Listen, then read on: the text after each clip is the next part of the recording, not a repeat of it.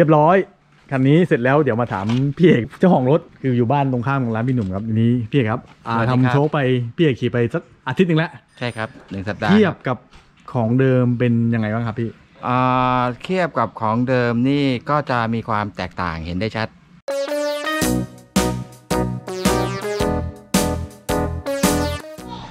โอเคคันนี้เดี๋ยวรถ พี่เอกครับ เดี๋ยวจะทำโชคไล่สเต็ปให้คือน้ำหนักตอนเนี้ยโชคมีอาการยัน เดี๋ยวจะแก้ยันให้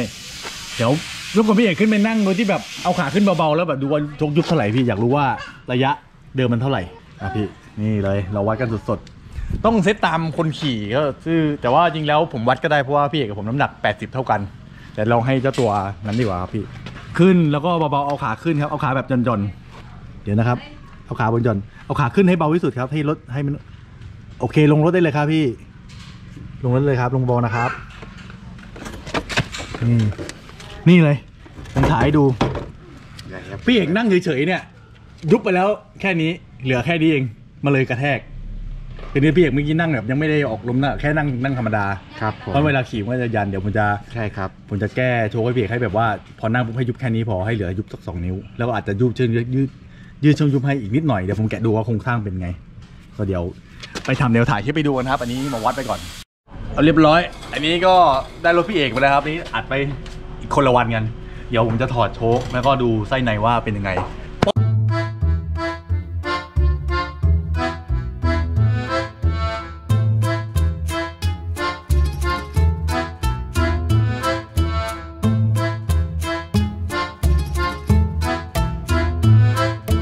โอเคเรียบร้อย นี่ถอดแล้วเดี๋ยวจะดู อันนี้คือสปริงสปริงของคลิกร้อยสิบตัวปีเก่าครับเป็นตัวคาบูเนี่ยมันจะเป็นแค่เคเดียว อันนี้เป็นสปริงตัวอื่นเป็น 2K แต่เดี๋ยวมันเคเดียวอยู่แล้ว เราก็ใช้วิธีการแก้อื่นเดี๋ยวผมจะทำให้ต้องลองขึ้นมาแต่ดูขอดูโครงสร้างก่อนว่าไส้ในเป็นไงว่าจะยืดชักอีกสักสิบยี่สิบมิลได้ไหมเดี๋ยวขอดูไส้ในก่อนขอขอรื้อก่อนรอดอะเราฮะผมโอเคเราก็รอดอะถอนไปข้างล่างแล้วเดี๋ยว ดึงก่อนไส้ในเป็นยังไง ขอสองแป๊บนึง เอาให้มาเล็กมาก เดี๋ยวผมลองดูว่าจะทำยังไง ผมยืดมาได้ทักกี่มิลได้ ประมาณ 6-7มิลครับ คือไม่ถึงไม่ถึงเซนเพราะว่าตัวแกนมันทำมาจำกัดก็โอ้ยนี่อะไรแก้ตะปิงกลางนิดนึง ได้ไหมสักประมาณ8มิลผมว่าเดี๋ยวเราจะจัดการที่สปริงโดยการให้สปริงมันรับกับ ชคที่ยืดแล้วก็ความนุ่มความอะไรก็จะได้อยู่เหมือนเดิมแต่มันจำเป็นจะต้องแข็งกว่าเดิมนิดหน่อยเพราะเราต้องการแสกที่พอดีครับ อันเดิมมันจะยุบเยอะไปมาทำกันเลยครับ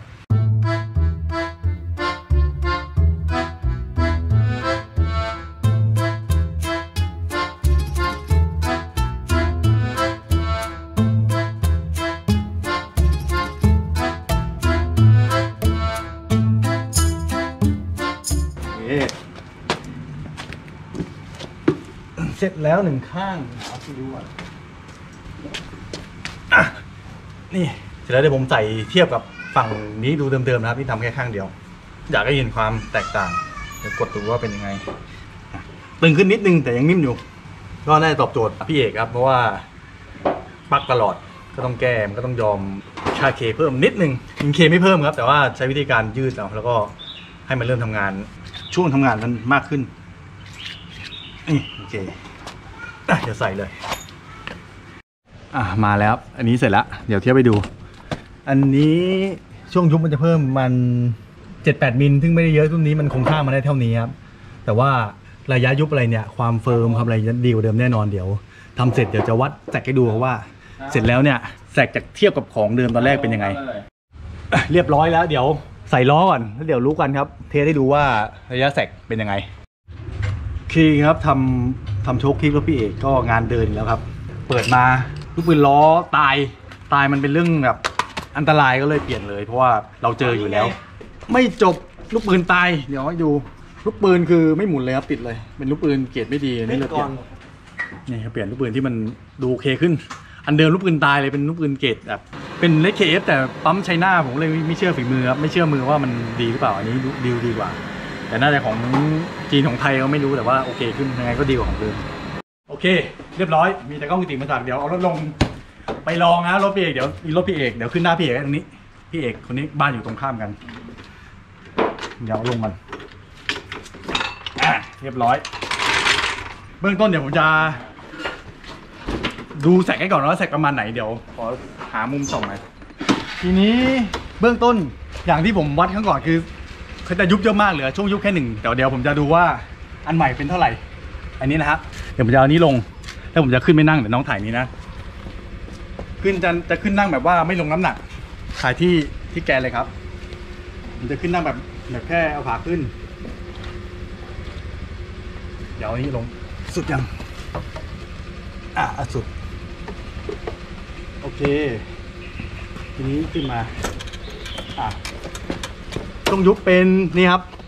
ยุบลงมาหนึ่งนิ้ว แล้วก็ผมทำช่วงยุบเพิ่มจากเดิมเนี่ยของพี่ประมาณเกือบเกือบสามนิ้วเป็นสามนิ้วนิดๆคือช่วงยุบจะยาวขึ้น แล้วก็ช่วงยุบแสกช่วงแรกจะมีแค่นิ้วหนึ่งทีนี้เหลือการทำงานสองนิ้วเดี๋ยวความแข็งนี่คือไม่ได้แข็งขึ้นมากครับยังนุ่มยังใช้งานได้อยู่ โอเคนี่ก็มีมานี้เดี๋ยวจะรอให้พี่เอกมาเทสแต่เดี๋ยวผมไปลองขี่เทสดูก่อนคร่าวๆ ก็วันนี้ก็จบประมาณนี้แต่เดี๋ยว ถ้าเจอเจ้าของรถจะให้เขาลองขี่แล้วให้เขามา บอกทีว่าหลังจากทำเนี่ยความรู้สึกจะเป็นยังไงครับ อ่าเทียบกับของเดิมนี่ก็จะมีความแตกต่างเห็นได้ชัด อันดับแรกคือหนึบขึ้นอ่าในการเบรกหน้าหนักๆเนี่ยก็จะไม่มีอาการของกระแทกที่มันดังกึกๆฮะอ่าก่อนที่อ่าแอดมินจะทำการปรับปรุงไส้ใน สปริงไส้ในโชคให้เนี่ย ฮะ แม้แต่อ่าถนนที่มีมาตอยที่เป็นลูกขั้นเนี่ยธรรมดาน่ะที่ไม่รอยใช่ต่อครับรอยต่อแล้วเป็นรอยต่อที่ทำเป็ถนนนคือนิดๆหน่อยๆคือนิดๆที่ครับว่ามันจะมีมาตอยแล้วมันหลุดล่อนไปเงี้ยหรือรอยแตกนิดๆหน่อยๆอะครับถ้าเกิดมีการเบรกกระทันหันอะไรอย่างเงี้ยมันก็จะกระแทกปักปักปักหรือใช้ในอ่าโอกาสปกติคือเข้าออกในหมู่บ้านที่มีลูกขั้นเนี่ย มันก็จะพอเบรกปุ๊บเนี่ยแตะปุ๊บมันก็จะกระแทกเลยปุ๊บลูกคันนี่คือหลังเต่าใช่ไหมพี่เอกใช่ครับ โอเคครับเดี๋ยวเป็นคนเลี้ยงไม่เหมือนกันโอเคอ่าฮะ ก็คือธรรมดาเวลาเจอหลังเต่าตามหมู่บ้านเนี่ยกระแทกเลยปอกปอกปอกนะฮะใช่คอันรับ นี้คือน้อยลง น้อยลงครับน้อยลง ความนุ่มมันก็จะน้อยกว่าของเดิมประมาณสักสิหรือ 20%โอเคครับ วันนี้ก็ประมาณนี้ครับ ผมพี่เอกก็ลาไปก่อนครับ ขอบคุณที่รับชมนะครับ สวัสดีครับ ครับ